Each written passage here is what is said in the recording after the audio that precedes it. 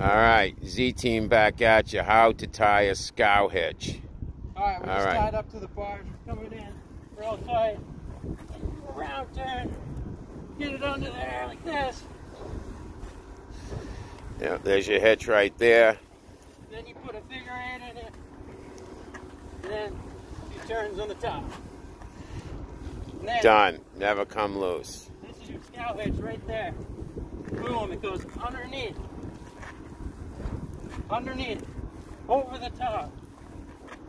Pull it really tight. Figure eight it. Very important. You got to have a lot of bird shit on the bit. Mm. Boom. Z team, baby.